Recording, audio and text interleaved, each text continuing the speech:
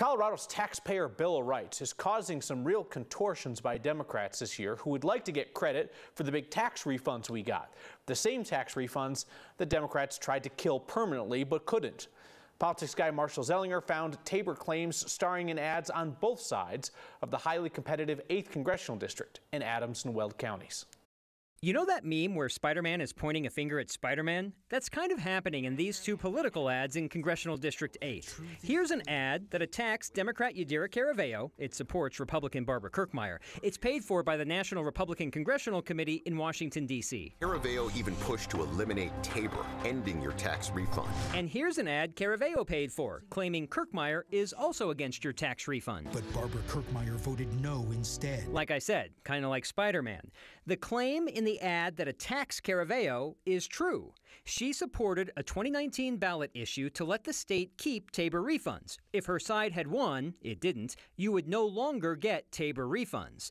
But on the other side, Caraveo's ad also gives her credit for getting you a bigger refund.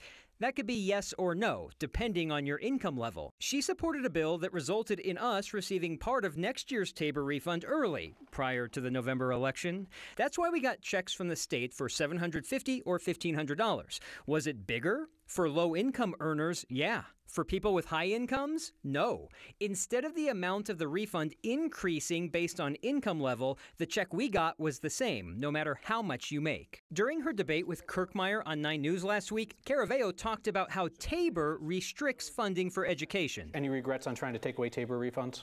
I think that it really affects the health of children, but it is the law of the land, and so I will follow that law. Now, back to more Spider Man. But Barbara Kirkmeyer voted no instead. Regarding the Tabor refund, this claim is accurate in that she voted no on the bill that sent out some of your Tabor refund early and equally, no matter your income level. But she did not vote no on your refund. She voted no on changing how it was coming back to you.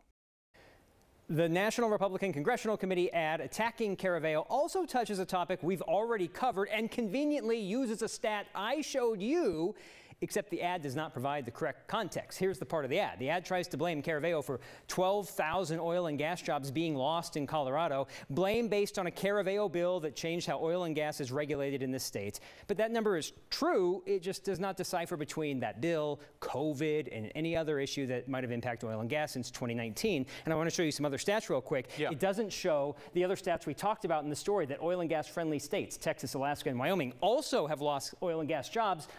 Texas, if they're going to show 12,000 here, they should show minus 78,000, which I know you asked Kirkmeyer about in the interview. Yeah, we talked about that in last week's debate. Why, why is she blaming Caraveo for lost jobs in Colorado when pro-oil and gas states also lost jobs? Mm -hmm. And basically your answer was, well, I don't know about those other states, but I'm definitely blaming her for Colorado. Sure. On the Taxpayer Bill of Rights. I feel like we've talked about this a million times, but it's important because it's people's money in the end, and, and folks should know that there's some really kind of disingenuous claims that are being made. If there's anything that you know from watching Next about Tabor. It's the Tabor refund part of Tabor, and that you get a vote on every possible tax increase because of Tabor. So if you know that much, you know enough about Tabor. My issue is we've done Tabor, we've done this.